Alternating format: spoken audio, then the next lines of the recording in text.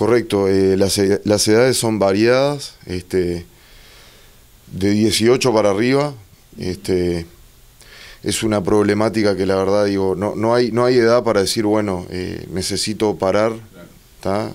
partiendo de la base que el, primer paso a dar es, admitir que tengo una problemática para poder tratarla. Eh, mi problema no es el alcohol, mi problema no son las drogas, mi problema no viene por ahí. En realidad eso son las consecuencias del verdadero problema. Entonces, ¿qué voy a hacer a la chacra sin importar la edad que tengo? Nunca es tarde para, para cambiar, para buscar una nueva manera de vivir y para encontrarse con uno mismo, ¿verdad? ¿Qué es lo que voy a buscar? Busco eh, conocer un poco más por dónde viene, por qué me ataca y por qué termino como termino. ¿Cuáles son? ¿Por qué termino con esas consecuencias, verdad? ¿De dónde viene? ¿De dónde se despertó eh, la adicción en mí? Eh, ¿De dónde, cómo, cómo pudo llegar a surgir todo esto en mí? Y bueno, tratarlo, ¿verdad? Bueno, ¿cómo se pueden contactar? ¿no? Aquellas personas que estén viendo esta nota, eh, no sé, quieren dejar algún teléfono, alguna vía de contacto para, bueno, este, tomar contacto con ustedes, no valga la redundancia, y, saber que está esta excelente opción aquí muy cerquita. Bien, eh, nos pueden buscar eh, por Facebook como Comunidad Terapéutica Las de Libertad, por Instagram como Comunidad Terapéutica Las de Libertad. Bueno, perfecto. Así que en el, en el número, este, en el gráfico se va a ver el número allí de la chacra. Y bueno, este, realmente el agradecimiento, porque me imagino que si hay 27 personas y quizás tantas más que nos están viendo que puedan necesitar ayuda, bueno, habla de, que en la zona estaba la necesidad de este lugar. Bien. También eh, realmente está la necesidad, así como en todo el país, así que también eh, de parte nuestra y del equipo terapéutico de la comunidad que, en este momento están cumpliendo la función allá. También quiero agradecerles a ustedes por ayudarnos a, llevar este mensaje, porque es una manera también de, ayudar y hacer la diferencia dentro de nuestro país.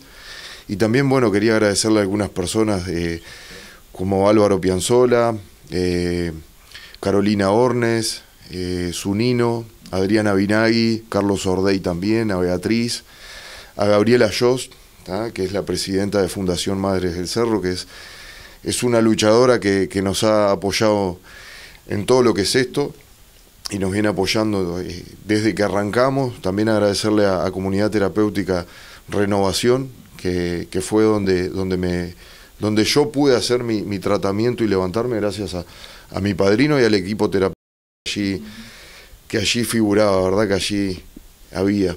Así que bueno. Eh, sería un poco de eso. muchas gracias. ¿Algo más que quieran agregar? Y bueno, reiterar, ¿no? Que, que, hay un lugar que la gente puede llamar y, bueno, y que, que, siempre hay una posibilidad de salir. Sí, este, realmente eh, tensen la oportunidad, tensen la oportunidad que se puede y se lo dice una persona que sufrió, que perdió todo y, y hoy por hoy capaz que no tengo nada, pero lo que tengo es la conciencia tranquila y sé que apoyo la cabeza en la almohada y nadie me va a matar, ni no le debo a nadie y mi familia la veo más joven, a mi abuela, a mi madre, a mi hija, y hoy puedo ser parte de, la vivencia de ella y, de toda mi familia y me ven, me ven sano y alegre. muchas gracias. Gracias. Gracias.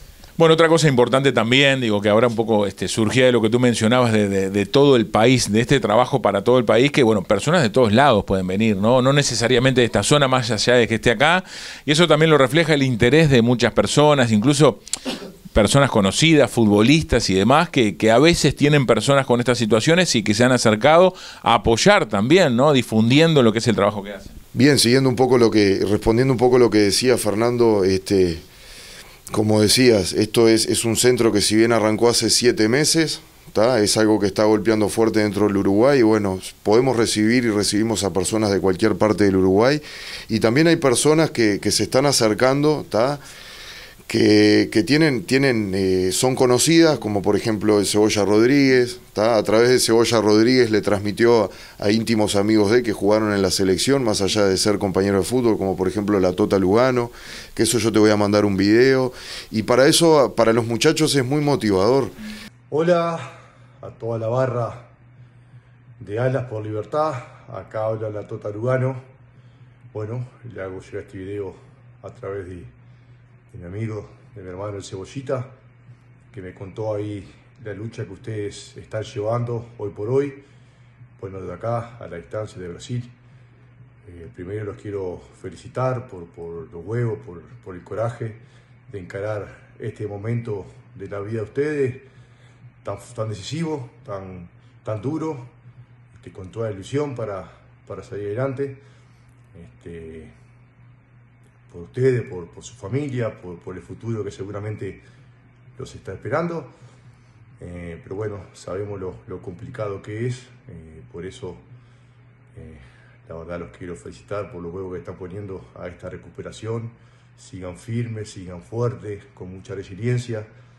Hay mucha gente que, que está hinchando por ustedes, mucho más capaz que lo que hinchaban por nosotros en la selección. Y bueno, quién sabe si un día no, no me puedo dar una vuelta por ahí a visitarlo con el cebollita y, a darles un abrazo personalmente. La verdad que orgulloso ahí de, de la barra, de la actitud que están poniendo para, para seguir adelante en la vida de ustedes. Abrazo grande, vamos arriba.